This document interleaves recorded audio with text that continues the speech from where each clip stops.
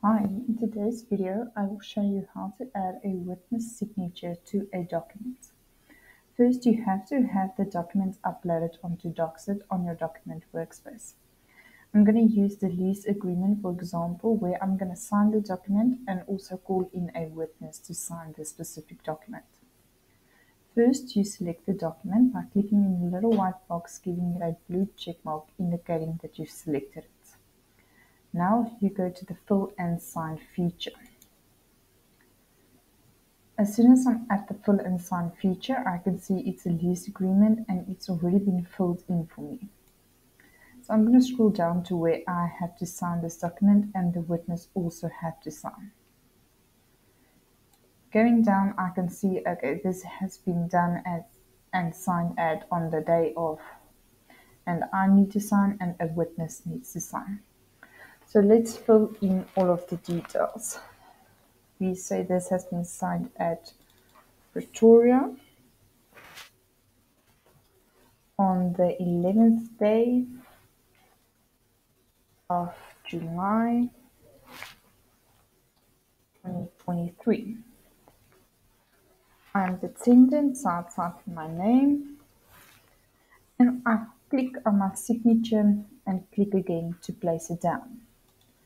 Now I've signed the document. Now I want a witness to also sign this document. So I'll call somebody that's in the room with me and they need to take their cell phone and scan a QR code. So let's place the witness signature down. On your left hand side, you see there's a add witness signature button.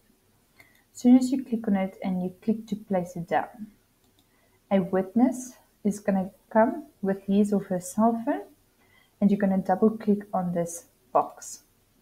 As soon as you double click on it, a QR code will be displayed. So the person is going to take his or her cell phone, open up the camera, and then scan this QR code. As soon as they scan the QR code, it's going to give them a link which they should click on. As soon as they click on the link, this will take you to a Doxit page which says upload or capture signature or you can draw your signature. Here, the witness can choose if they would like to upload the signature, meaning they make the signature on a blank piece of paper and take a picture of it, or if they would simply like to draw it.